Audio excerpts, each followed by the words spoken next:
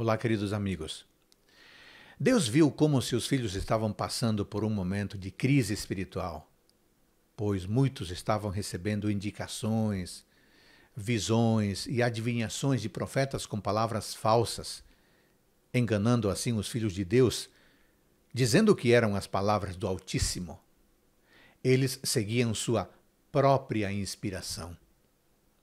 Esses supostos profetas podem ser encontrados hoje, na figura de muitos pregadores que apresentam doutrinas falsas, que, segundo eles, são apoiadas por um Assim diz o Senhor.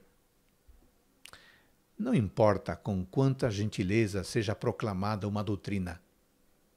Não importa quão impressionantes sejam os títulos de quem a proclama não deve encontrar lugar na mente do crente, a menos que de fato o Senhor tenha ensinado isso.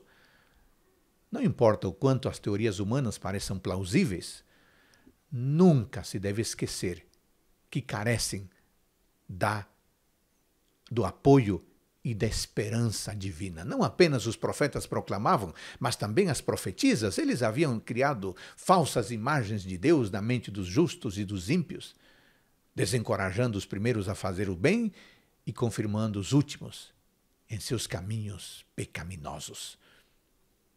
E qual o resultado? Enganaram muitas pessoas e a imagem de Deus foi distorcida.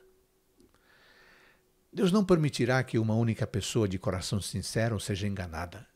É por isso que ele afirmou a Ezequiel que eles seriam condenados e todos saberiam de seu grande pecado diante de ensinos espetaculares que massageiam o ego, prefiramos sempre o assim diz o Senhor, pois é mais seguro.